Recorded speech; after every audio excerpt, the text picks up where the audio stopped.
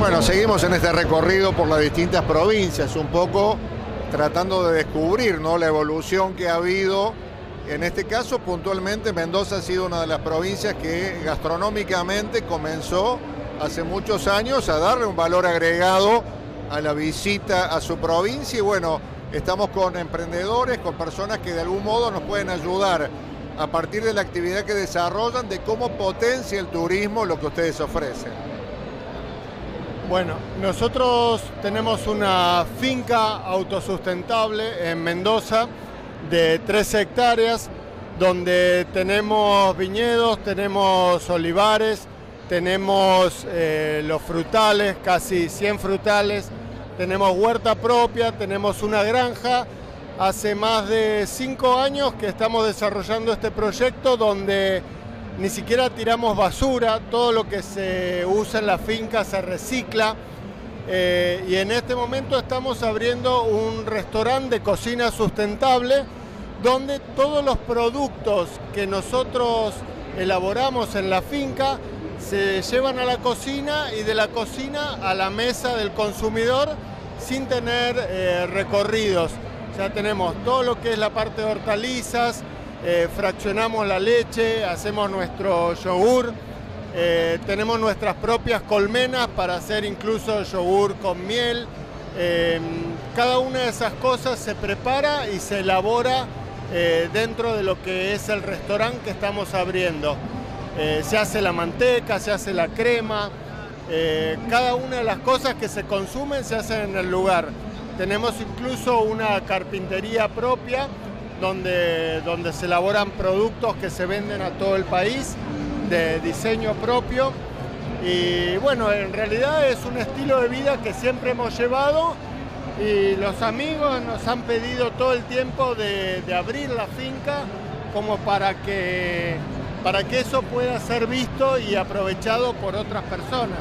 Es transmitir un concepto en realidad, es transmitir que, en realidad se puede vivir de manera sustentable y que, podemos, y que podemos vivir y convivir sin destruir, por decirlo así. Eh,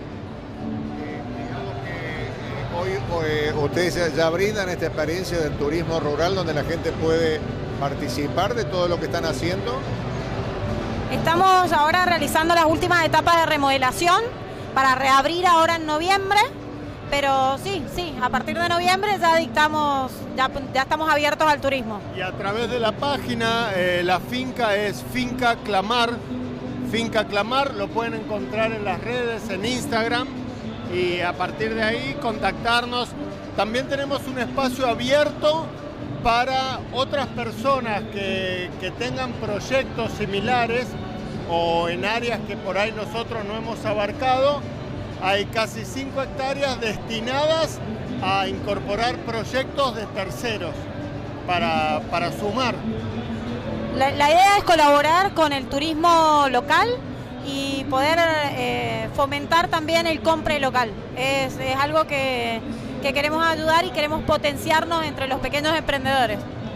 Digamos que ha habido un incentivo de políticas políticas públicas para que ustedes, bueno, se decidan invertir en ese lugar.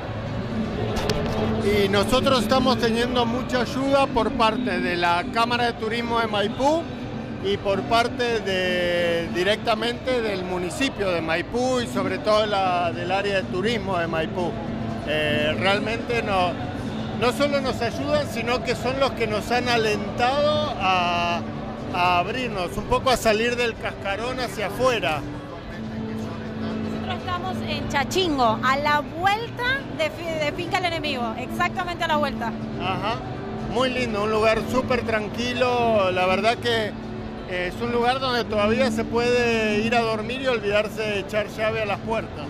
Nosotros tenemos ahí, tenemos vaca, ovejas, conejos, gallinas y todo, y todo se maneja con el concepto de sustentabilidad, de no poder, de, de no contaminar. Entonces, ahora estamos incursionando en lo que es agricultura mm, regenerativa para evitar el paso del tractor y erosionar la tierra. Y los mismos animales son los que abonan la tierra y se alimentan de, lo que nosotros plantamos. Muchas gracias. Bueno, así hablamos, veíamos un emprendimiento de Mendoza que está en una etapa de poder compartir esta vida, eh, lo que es turismo rural, que bueno, que desde Mendoza eh, podemos decir que, eh, bueno, esta es la política que de alguna manera se hace eh, tentando a que la gente, bueno, pueda generar estos emprendimientos y luego sumarse a la experiencia turística de esa provincia. Muchas gracias.